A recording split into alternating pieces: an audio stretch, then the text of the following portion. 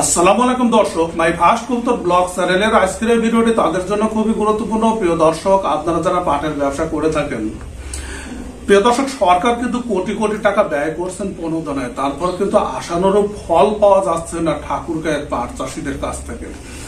প্রিয় দর্শক, এই যে কোটি কোটি টাকা ব্যয় হচ্ছে, কৃষি অধিদপ্তর থেকে যেটি বলা হচ্ছে যে প্রণোদনায় এই কোটি টাকা ব্যয় করা হচ্ছে ঠাকুর গায়ে কিন্তু কৃষকদের কাছ থেকে যদি তথ্য সংগ্রহ করা যায়, তারা কিন্তু বলছে, এই প্রণোদনার টাকা কোথায় যাচ্ছে? তারা কিন্তু পাচ্ছেন না। এখন সঠিকভাবে যদি সঠিক কৃষকের কাছে এই প্রণোদনার টাকা ব্যয় না করা যায়, তাহলে কিন্তু এটা সম্পূর্ণ বৃথা।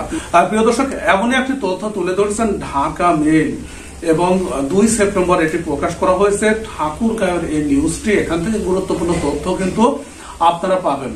প্রিয় দর্শক, এখানে বলা হচ্ছে যে প্রণোদনায় কোটি টাকা ব্যয় বিলুপ্তির পথে ঠাকুর গায়ের পাট চাষ। প্রিয় দর্শক, বাংলাদেশের সোনালী আঁশ পাট এবং সেটি যদি বিলুপ্তির পথে যায়, তাহলে কিন্তু বাংলাদেশের অর্থনীতি দারুণ ভাবে ধাক্কা খাবে এবং প্রণোদনার টাকা সঠিক চাষিদের কাছে যদি বন্টন না করা যায়, তাহলে কিন্তু এটা পুরোটাই বৃথা যাবে এবং রাষ্ট্রীয় টাকা পয়সার ক্ষয়ক্ষতি হবে, কিন্তু লাভের বেলায় কিছুই হবে না। এবং এই যে বিলুপ্তির পথে, কেন বিলুপ্তির পথে যাচ্ছে এই ঠাকুর গায়ের পাট চাষ? সেই সংক্রান্ত তথ্য কিন্তু ঢাকা মেল তুলে ধরছে এবং বলা হচ্ছে যে প্রকৃত চাষি প্রণোদনা না পাওয়া, অর্থাৎ যে প্রণোদনার টাকা ব্যয় করা হচ্ছে এটি প্রকৃত চাষি পাচ্ছেন না।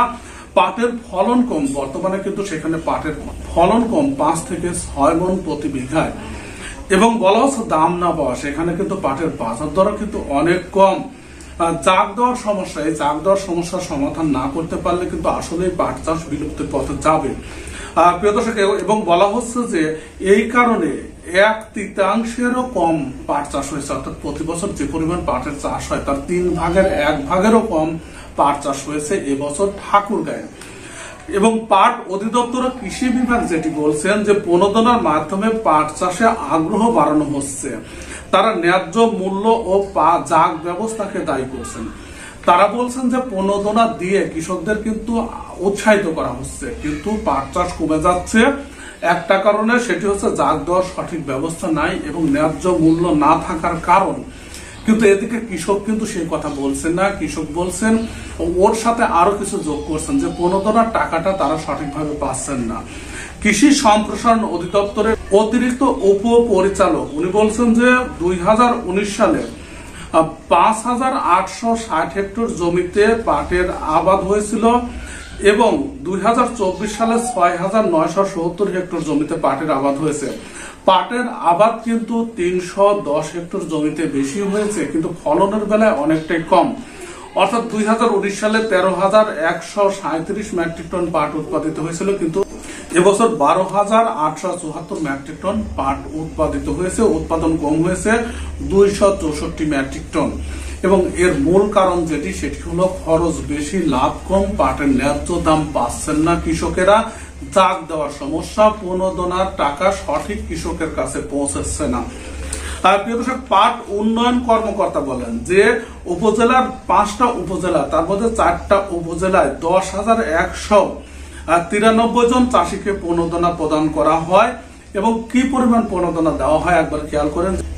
এক কেজি বীজ, ছয় কেজি ইউরিয়া, তিন কেজি টিএসপি এবং তিন কেজি এমওপি পাঁচশো টাকা খাওয়া দাওয়ার বিল, তিনশো টাকা এবং নাস্তা, আশি টাকা খাতা কলম দেওয়া হয়। প্রচুর টাকা কিন্তু ব্যয় করা হচ্ছে। কিন্তু সঠিক পাট চাষি কিন্তু এই টাকাটা পাচ্ছেন না। পাট চাষিদের এটি অভিযোগ। কৃষি সম্প্রসারণ অধিদপ্তর থেকেও তিন হাজার ছয়শো জনকে প্রণোদনা দেওয়া হয়। এখন এই প্রণোদনা কোথায় দেওয়া হচ্ছে, কার কাছে দেওয়া হচ্ছে, সেই সংক্রান্ত তদন্ত কিন্তু খুব বেশি হচ্ছে না। প্রিয় দর্শক, মোহাম্মদ আনিসুর রহমান, পাট চাষি, উনি বলছেন যে পঞ্চাশ শতাংশে তিরিশ থেকে পঁয়ত্রিশ হাজার টাকা তার খরচ হয়েছে এবং আব্দুল হামিদ বলছে পঁচিশ শতাংশ পাট কাটতেই তার পনেরো হাজার টাকা খরচ হয় আরও খরচ তো আছেই।